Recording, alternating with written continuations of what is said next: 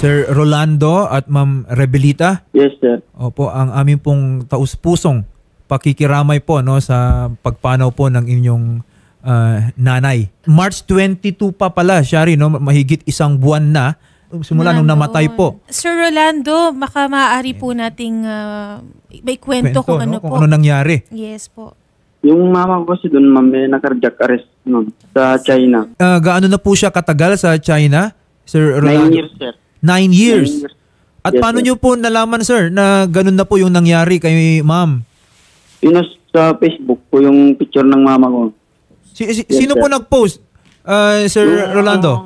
Lesko po yung pangalan yung nag-post, sir. An- ano yun? Katrabaho po ba ni ma'am? Ay, dating kwan doon sa China din po, sir. Ayun. At, at tapos sino po ang nakausap na natin dun sa Shanghai, China para na-verify yung information at nalaman na cardiac arrest nga yung kinamatay po? Yung kwan po kasi nakakausap nila po yung bilas ng mama ko po. Yung agency po ba ni Madam lumapit na rin po ba sa inyo? Wala pa po, sir. Wala rin, wala Ah, rin. wala na daw pong agency. Ah, kumbaga, direct hire na po siya sa ah, China. Okay, attorney. okay. Opo. Sir, um, kailan niyo daw po huling ah, nakausap yung nanay niyo po? Wala po ba siyang iniinda na masakit sa kanya?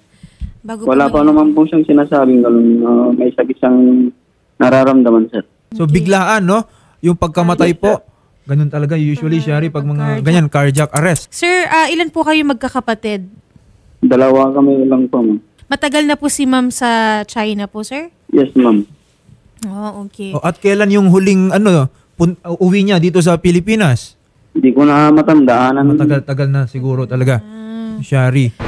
Attorney Malonzo, nandito po si Sir Rolando at si Ma'am Rebelita at nanghihingi po ng tulong sa atin na sana maiuwi na yung labi po ng kanilang nanay na namatay pa noong March 22 sa China.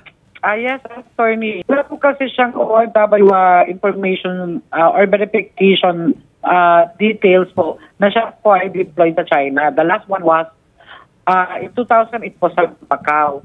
And then, uh, binigay po yung information po ng staff nyo, at sinabi rin po ng uh, kanyang anak po si Rolando na siya po ay na-cardiac arrest po sa Shanghai, China.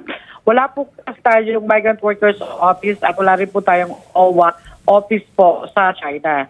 So ito po ay magpo-fall po sa jurisdiction po ng ating Philippine Consulate uh, General po which is under the DFA po.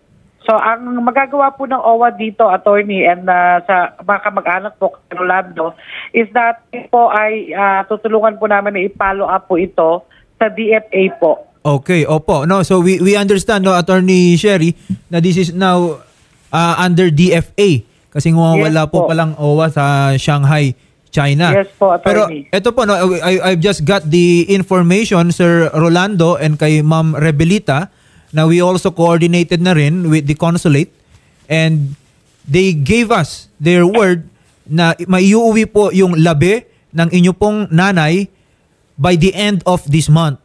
Okay? So aayusin po no kasi Shari may mga permits din kasi yan. May, marami pang ibang kailangan ayusin. So ang pinangako naman po sa atin Sir Rolando is maiuwi po ang inyong ah, nanay sa pinakamabilis na panahon. Expect within the month po ah, Sir Rolando. Okay? Yes, sir. Opo, so ah, hintay-hintay na lang po muna tayo. Inaayos na po, no? We have to undergo po yung process ah, sa pag-uwi po ng inyong nanay. Sige sir, ah, Sir Rolando, ah, wag niyo pong ibababa yung linya at ah, tatawagan po kayo ng aming staff and nakaalalay po sa atin, of course, ang ah, tanggapan po ni Attorney Sherilyn Malonzo. Attorney. Ah, yes, oo. And ah, patungkol na nga rin po dyan, no? At since nandun na rin sa ating satellite office si Sir Rolando at si Ma'am Rebelita, as soon po na makarating po sa Pilipinas, si ang, lab, ang labi nga po ng inyong nanay and any form of assistance po na pwedeng ibigay po ng AXIS party list, sabihin nyo lang po, yung mga burial, funeral, yung mga funeral assistance po dyan, ang AXIS party list po sa tanggapan ni Congresswoman Jocelyn Tulfo ay handang tumulong po sa kung anuman po ang kakailanganin po ninyo. Yes, sir. Thank you, sir. Okay.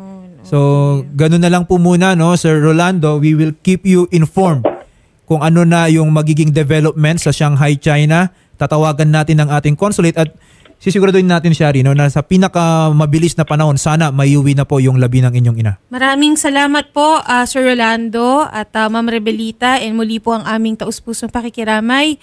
Ah, bibigyan po namin kayo ng update from time to time ah, patungkol po doon po sa labi po ng inyong ina. Eh, may sasabi ko lang po kay Sir Rafi, sir. Thank you, thank you, sir. Na mayuwi na agad yung mama namin sa China. Thank you, thank you, Idol. Thank you, Madam, sa iyong pagtulong sa amin sa pagpapauwi ng bangkay ng aming kapatid. Salamat po. God bless you more, Madam Jocelyn Tulfo. Thank you so much. Okay po, ah, Nanay ah, Rebelita, ay, muli po ang aming pong taus-pusong ah, pakikiramay po sa pagkawalan ng inyo pong kapatid. Okay? Salamat po at ah, huwag niyo pong ibababa yung linya, Ma'am Rebelita and Sir Rolando. At ah, kakausapin pa rin po kayo ng mga staff po natin. Magandang hapon po.